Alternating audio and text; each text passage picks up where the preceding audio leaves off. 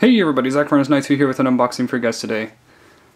Obviously, since you um, seen the title, it's going to be for, oh if I can grab it, Rise of the Guardians Blu-ray, DVD, and digital combo pack.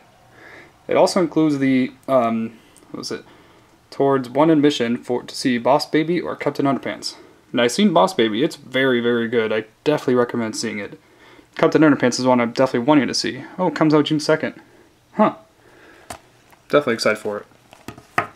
This one has like um, different um, sleeve, cover art, sleeve cover than the original one that came out a couple years ago when this was new.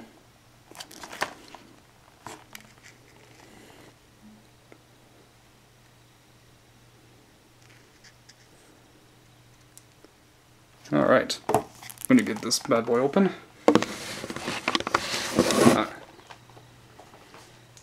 Think I got Rise of the Guardians a couple years ago. I honestly don't remember if I ever did an unboxing.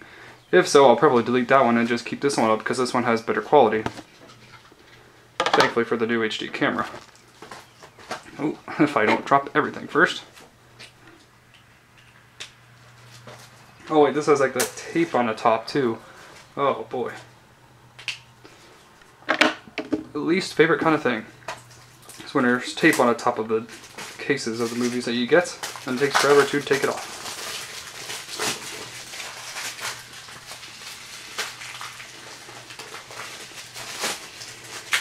But yeah, I do have a new way now to make better thumbnails, since now I know how to do that.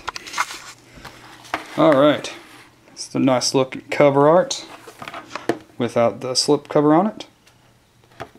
Pretty much the exact same thing as that one. No difference really. Oh yeah. Had to get that piece off of it first. Piece that I hate taking off.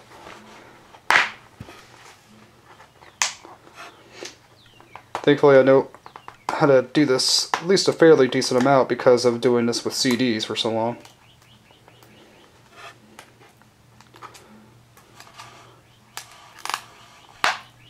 Alright. Come on.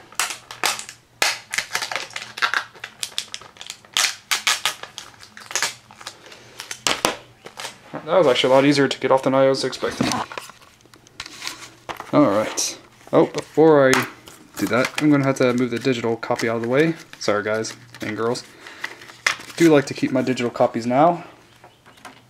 Sorry if I sound selfish, but I just really like to have my digital copies that come with this kind of interesting that they chose it this way. They took the, put the DVD on the right side instead of the left, where I'm used to it being DVD then Blu-ray. This time it's D Blu-ray DVD. No difference other than the disc is blue for the Blu-ray, which makes sense, and the DVD is just a standard gray.